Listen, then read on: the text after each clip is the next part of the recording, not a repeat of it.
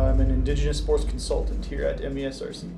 Want to compete against the the girls that come from like a small commu- community like me.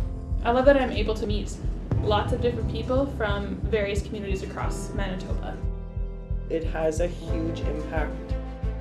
Build those connections. and I see that they experience value in that or experience empowerment in that, that's the most fulfilling thing.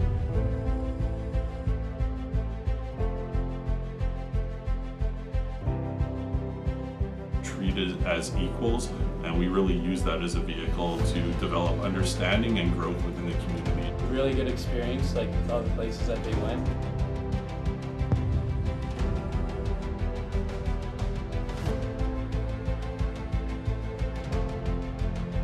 Programs we run youth starting typically around eight or nine years old, all the way up to as old as you want to be.